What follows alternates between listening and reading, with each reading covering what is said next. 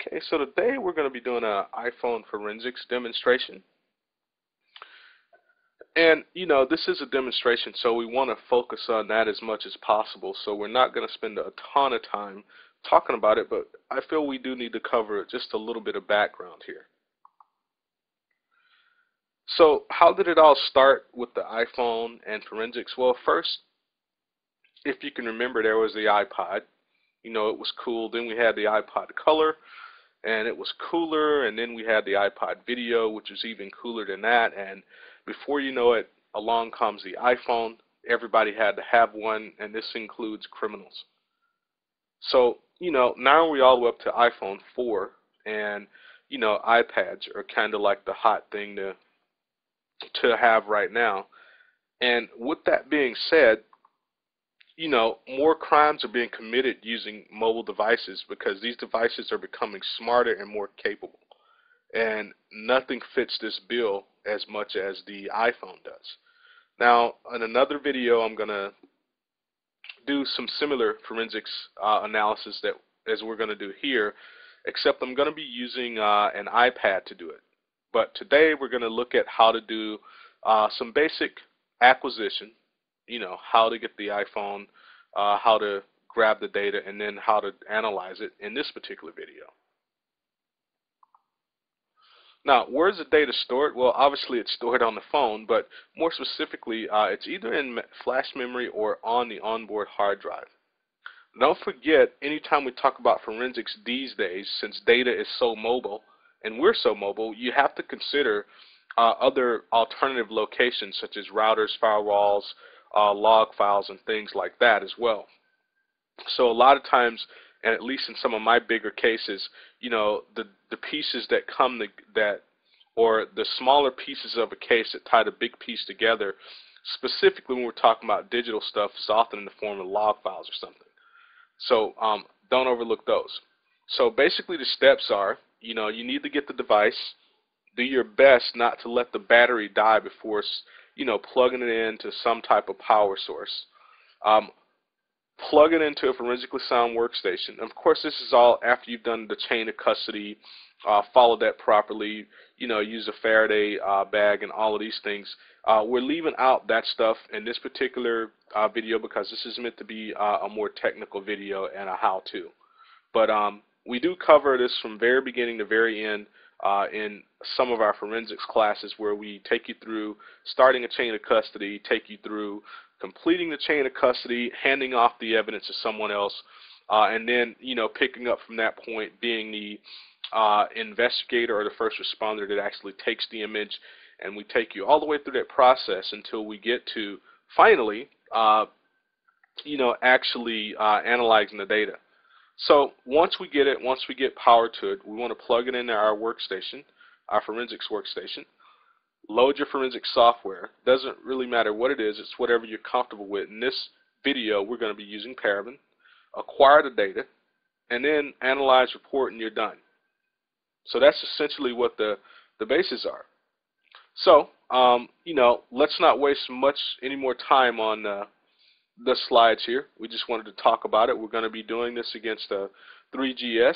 Uh, we're going to be using Paraben's device seizure to do it, and we're going to focus on acquisition and analysis. In other words, get the data off the phone and then analyze it. That's our focus today. Later, we can look at reporting, uh, how to use Paraben to generate pretty reports and things like that. Um, that part I think most people can figure out if you just hit the report button and tell it what kind you want. But we're going to look at some of the more uh, you know, important things when it comes to gathering this data. So let's move on to uh, do the actual grab. All right, so let's go ahead and take a look. So we're going to start device seizure up. This is again, this is from Paraben. And there are several things that I like about uh, the way Paraben does stuff with their mobile forensic solution. And I'm going to share some of those with you once we uh, get into it here.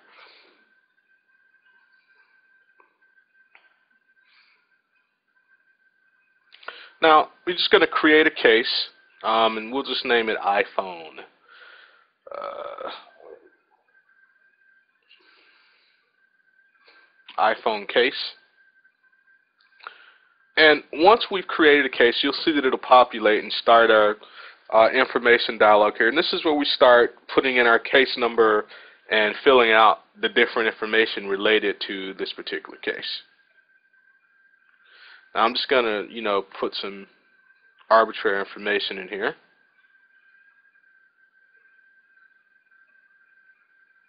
And keep in mind, we've already got the iPhone plugged in.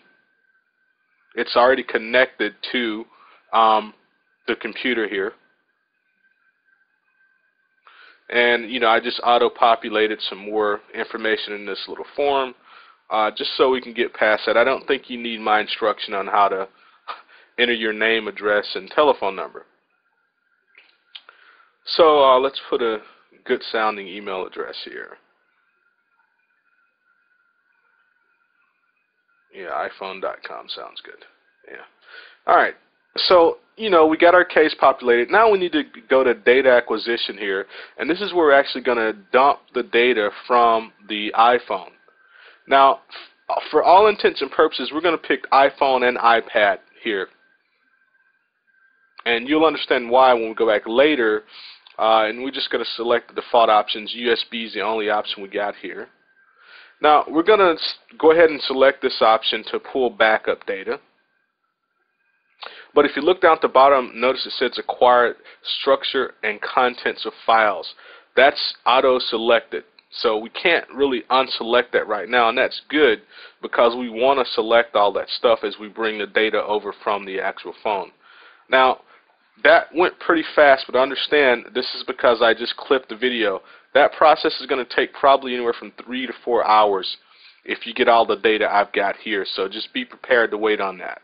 Now we can see we got pretty much everything that was on the phone, even voice memos. Um, if we look here, we can see our voice memos.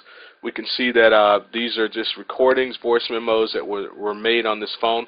And this error that doesn't mean anything. All it means is there's not a uh, you know media player built in to Paraben to play it.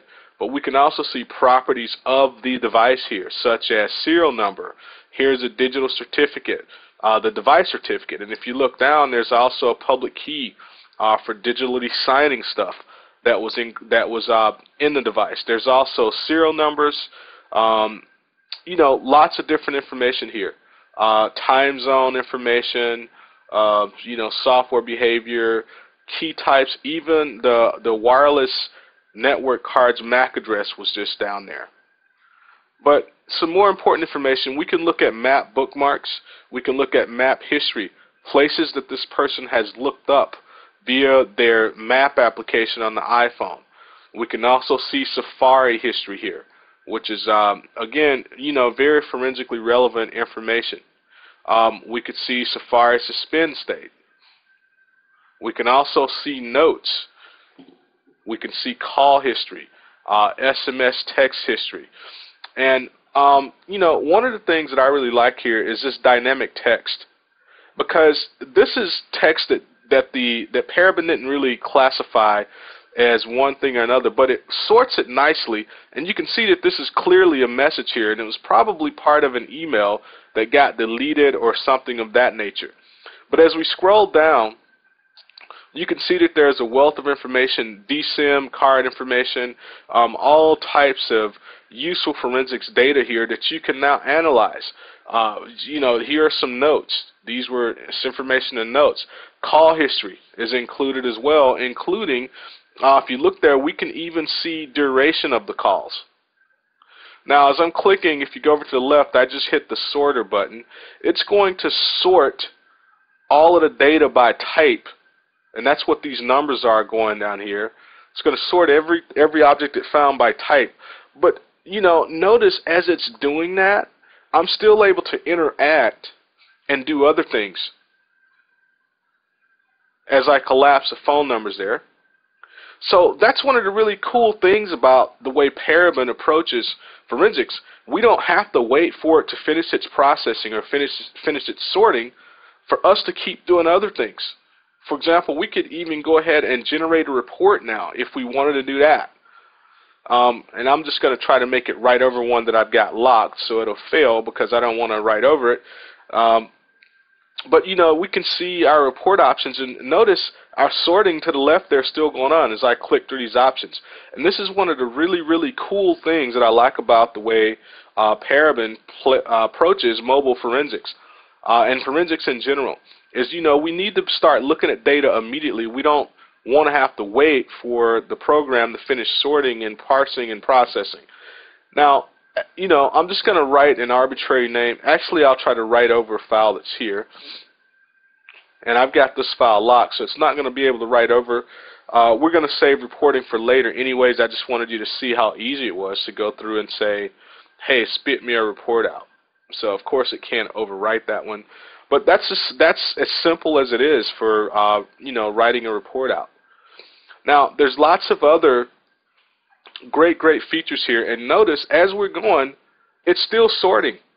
You know, it's about it's about 99% done, but it's still sorting this information by uh, different types. And that makes it very useful for you to go back and forensically uh, not only talk about but discuss as well. So, hey guys, hopefully, you know, this video has got you excited about mobile forensics and giving you some hope for mobile forensics. Uh, it's just starting to mature, but I'm starting to see good stuff out there. Uh, I've worked several cases and starting to see some good uh, output on that. So thanks for watching this.